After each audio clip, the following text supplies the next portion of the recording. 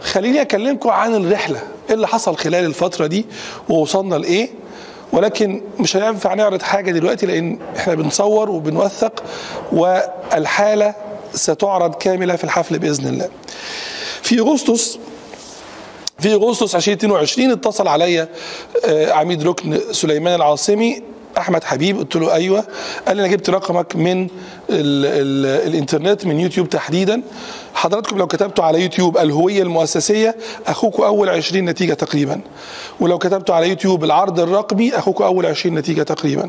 فهو دخل كتب الهوية المؤسسية فأول 20 نتيجة واحد غلس اسمه أحمد حبيب. رخم كده كل ما يروح في حتة أحمد حبيب كل ما يجي كده أحمد حبيب. زهق الراجل. قال خلاص نجيب ونشوف إيه موضوع الراجل ده. طيب إحنا عايزين نعمل منظومة الهوية المؤسسية الرقمية المتكاملة. قلت له مرحبا بك. قال لي إحنا أكبر مؤسسة ركز بقى في الكلام اللي جاي ده في الترتيب ده. قال لي إحنا أكبر مؤسسة أمنية خاصة في سلطنة عمان.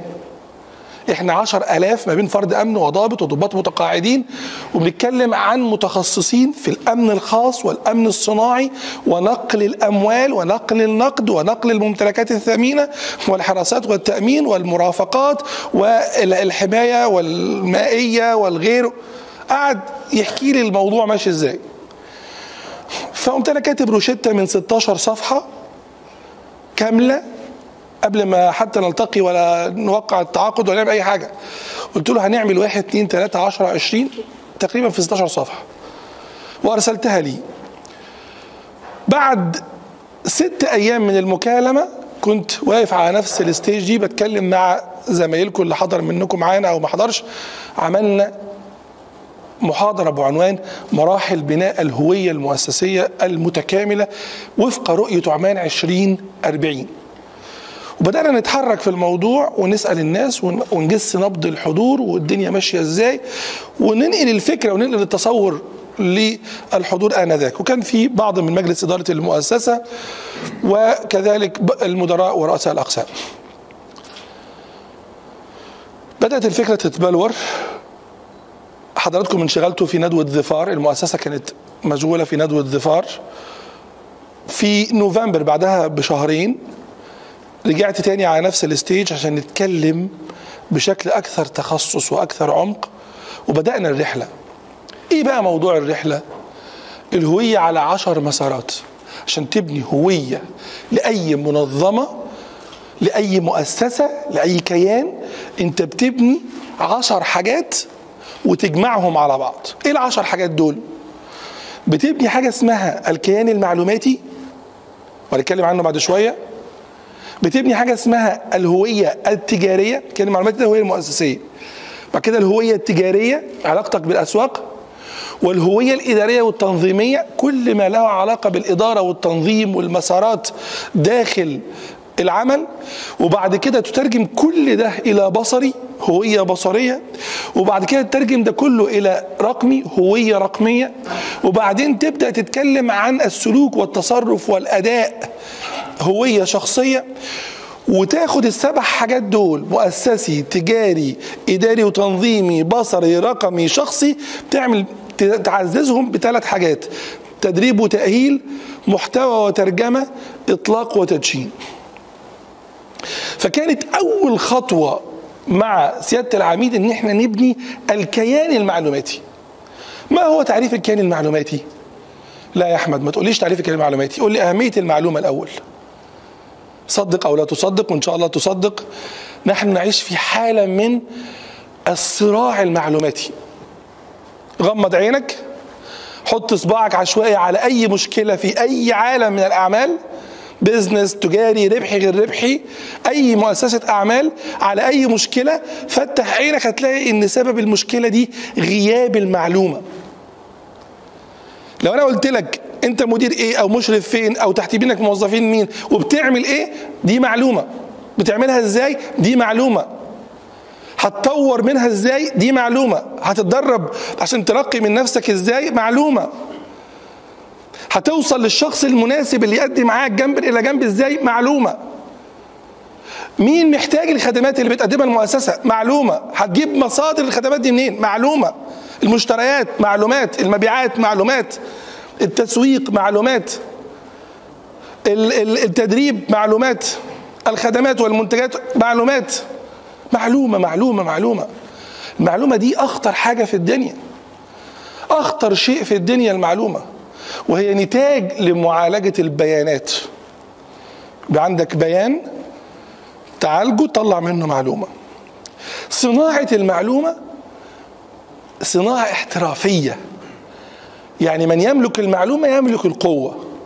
لكن تميزت الأمم آلاف السنين بالزراعة ومئات السنين بالصناعة وعشرات السنين بالمعلومة. ال- اليوم وأنا بكلم حضراتكم القوة مش فقط في المعلومة القوة هتبقى فين؟ فيما بعد المعلومة وهي الحكمة. نحن نغادر الآن عصر المعلومات عصر أن القوة في المعلومة لوحدها إلى عصر أن القوة في الحكمة. وما هي الحكمة؟ فعل أو قول ما ينبغي على الوجه الذي ينبغي في الوقت الذي ينبغي. أنت معاك المعلومة؟ هتعمل بيها إيه؟ هنا القوة بقى. زمان إنك تحصل على المعلومة كافي إنك تكون قوي. اليوم حصلت على المعلومة. لا أنا ممكن أعمل لك. كنت مرة في أحد الدورات بدرس حاجة في الأمن المعلومات. فواحد بيتكلم فقلت له أنت شغال في شركة إيه؟ قال لي في شركة كذا. قلت له طيب أنا هكتب حاجة على جوجل تافهة جدا هجيب لك أرقام الموبايل اللي في الشركة عندك. كتبت search بسيط على جوجل من غير أي حاجة. طلعت عشرات الألاف من الموبايلات من الشركة بتاعته. search بسيط على جوجل Excel هات Excel وهات Word وهات وهات. فتحنا قال لي إيه ده؟ قلت له عشان ما فيش ثقافة توظيف المعلومة أمن المعلومة التعامل مع المعلومة. المعلومة دي حاجة مهمة جدا جدا جدا. عدوك ما يعرفش من ورا الباب ده في كام واحد قاعد دلوقتي.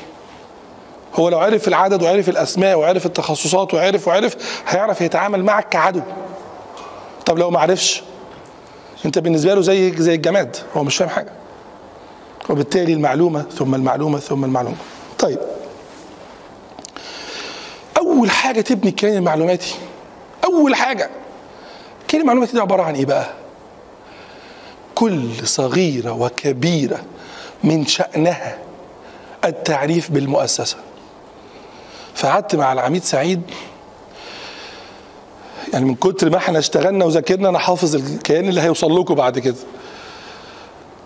التعريف التوصيف الاسم الرسمي الاسم التجاري اسم الشهرة الرؤية الرسالة أهداف قصيرة ومتوسطة وبعيدة الأدوات الخطة العامة الخريطة العامة القيم مصفوفة الأولويات مدونة السلوك الهيكلة المكانة السمعة التموضع الميزة الميزة النسبية الميزة التنافسية المستدامة. كل ده كتب للمؤسسة مش الكتب اتذاكر. وندخل متخصصين ونخرج متخصصين وندخل متخصصين ونخرج متخصصين عشان نوصل لل data دي. والميزة والميزة النسبية والميزة التنافسية المستدامة والتكلفة التنافسية والملكية الفكرية والتفرد والخمس مصادر بتاعت أي business في الدنيا المنتجات والمشاريع والخدمات والحلول والمبادرات. وسوات قوة وضعف وتحدي وتهديد. إلى آخره بنتكلم عن 100 محور ما بين رئيسي وفرعي في كيان معلوماتي هيوصل لحضراتكم إن شاء الله بإذن الله تعالى. تطلعوا هتشوفوا المؤسسة كونكريت بشكل صلب وقوي وواضح. طبعا قبل ما نعمل الكيان ده لم تكن لم يكن هناك وثيقة قادرة إن هي تعبر عن مؤسسة الأمن والسلامة تعبير حقيقي. عملنا استبانة. مش عارف وصلت لكم ولا لأ. الاستبانة دي عبارة عن 30 سؤال رابط وفي تعميم رسمي من سيادة العميد وبدأنا نبعت مش عارف وصلت لحضراتكم أو لبعضكم من عشر آلاف جالنا مجموعة ردود وأنا بقرأ الردود كارثية. آه عايز تعرف مدى قوة أو فعالية أو كفاءة عمل أي مؤسسة من عدمه؟ هات عشرين واحد من المؤسسة واسألهم نفس السؤال عن التعريف بالمؤسسة. إذا كانت الإجابات مطابقة أعرف أنها مؤسسة متينة. إذا كان كل واحد بيجاوب من ناحية وده بيجاوب من هنا وده بيجاوب من هنا وده شايفها بالطريقة دي وده شايفها أخ خضرة وده شايفها زرقاء وده شايفها بعيدة وده شايفها قريبة. أنت محتاج متانة في المعلومة. طيب عشان تبقى عندك متانة في المعلومة لازم المعلومة يكون فيها خمس مواصفات. أي معلومة متينة لازم تعدي على خمس مراحل. معلومة كاملة صحيحة مدققة مجربة مطابقة.